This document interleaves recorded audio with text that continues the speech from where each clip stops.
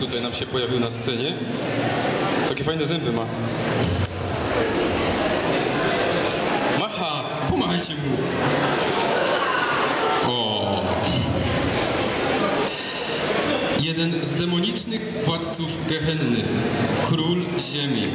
Przed wami Amai jako Amaimons anime Ao no Exorcist.